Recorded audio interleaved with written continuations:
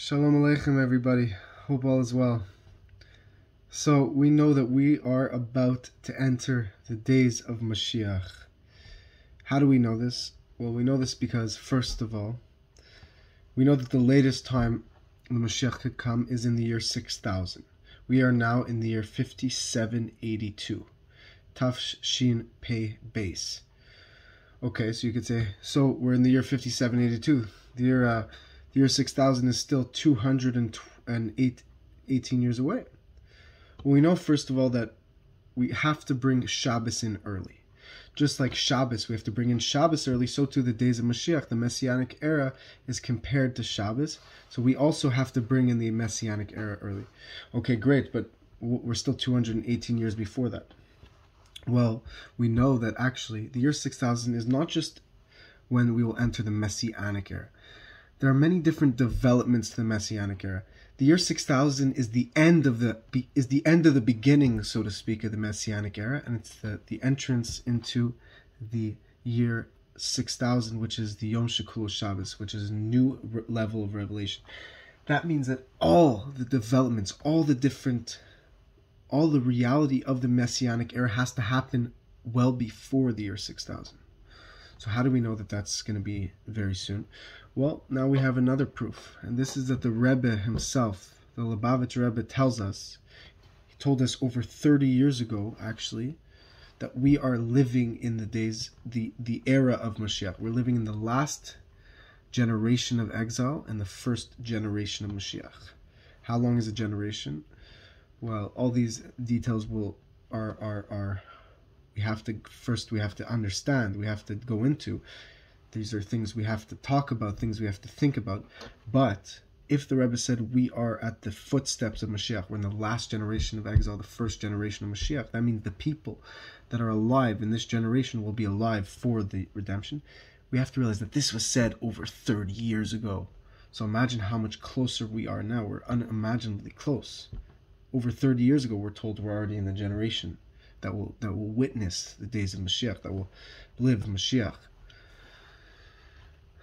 Here's another important concept that we have to understand, and this is that as great as well as great as the Mashiach is, as great as the Mashiach is, it is the nation, it is the people that have to bring him. The Mashiach can't bring himself. He can't decide to just bring the, the just reveal himself and, and be Mashiach. He needs the people to earn it. He needs the people to deserve it. Why? Because we know that every generation has a Mashiach. Since Moshe Rabbeinu and since David Melech, Mashiach is like Moses, he's like King David. He's the King David of the generation, he's the Moses of the generation. What does this mean? Well, every generation has a Moses figure.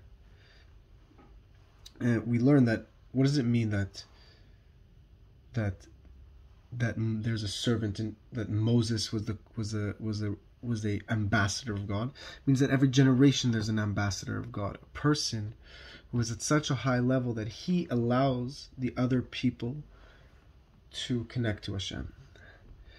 He brings out the potential in others. That is what the Mashiach will be a person who brings out the potential in others. So the others have to want Mashiach to take hold of them. They have to want Mashiach to they have to want to learn from Mashiach. They have to be humble before Mashiach. Because Mashiach is, is the most humble, so he won't force himself upon anyone. But he'll want the, he'll want to bring out the potential in others, but he'll need them to do their part. So we have to understand this concept deeper. W- what does this mean? Well, why do we need Mashiach? Why do why do why can we all just connect with God? Why do we need a person to help us connect to God? Why does the Mashiach have to teach us? Well, the answer is we all can connect to God directly. We all have a relationship with God. We don't need to connect to a person to connect to God. We can all connect to God directly. However, when we humble when we learn from Mashiach, it allows us to connect to God at a greater level than we'd be able to connect to him on our own. What does this mean? Hashem created the world in a certain way. Hashem created the world in a way where other people have to teach Torah to others. Hashem is in a state of hiddenness, so to speak, within the world. And through learning Torah and doing mitzvahs and doing good deeds and meditation and, and prayer and all these godly activities and loving our fellow and being a good person, through all these beautiful activities, we can uncover God within the world. We can reveal God. We can experience God and bring him out of hiddenness and into revelation. And it's done through Torah. But Hashem made it so that Torah is taught by human beings to other human beings. A parent teaches their kid Torah.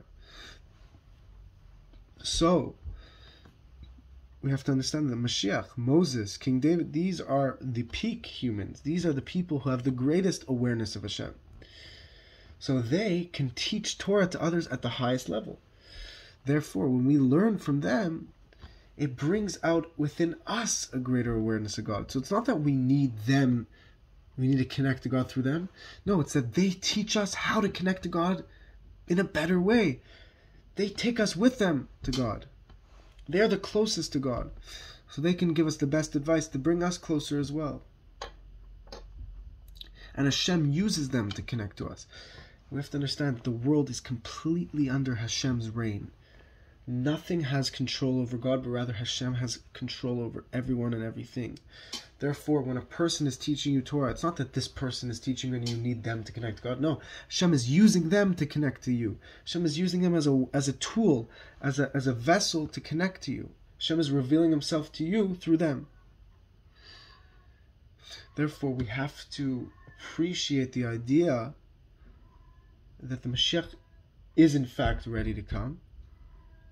However, we need to earn it we have to deserve it.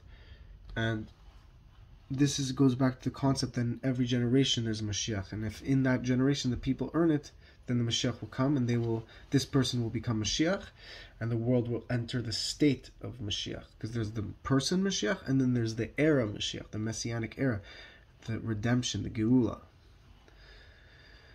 to understand this, a person has to believe in themselves, has to realize that we all have our Mashiach of our own situation. We all have a spark of Mashiach. The Mashiach, we are all a part of this mission where, as great as Mashiach is, he can't do your job because Hashem wants you to do it. Why? Because you are perfect for your situation. Hashem needs you. And Hashem could have created everyone as Mashiach, but that's not what Hashem wants. Hashem, as great as Mashiach is, could be what you're doing in your specific situation. You overcoming your challenge is greater in Hashem's eyes than even the Mashiach teaching the deeper secrets of Torah. Because it's all relevant to you, your level, where you're at. It could be that a little simple Jew does this little simple good deed, but Hashem's eyes, in Hashem's eyes, that was the most precious deed of all time, infinitely higher than anything else. So it's easy in a sense to believe in God, but it's harder to believe in ourselves sometimes we have just like we have to believe in God, we also have to believe in ourselves and realize that we have the light of God within us. We have the power to bring the Mashiach. We just need to believe in ourselves. And because Hashem surely does. When we believe in ourselves, we'll realize that that one extra deed that we do can be enough to ignite the sparks of redemption. May Hashem bless you all. May we experience it today. Please share this message.